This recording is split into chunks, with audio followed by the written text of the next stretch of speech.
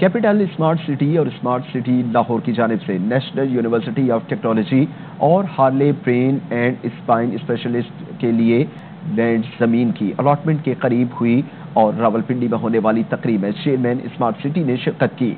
दोनों इदारों की अलॉटमेंट पेपर्स इनके हवाले किए गए। इस मौके पर उन्होंने कहा कि लोगों के लिए पुरसकून और जदीद तर्ज की रिहाइश की फराहमी स्मार्ट सिटी का अज़म है।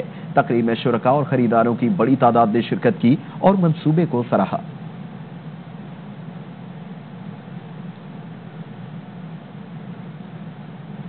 ज़मीन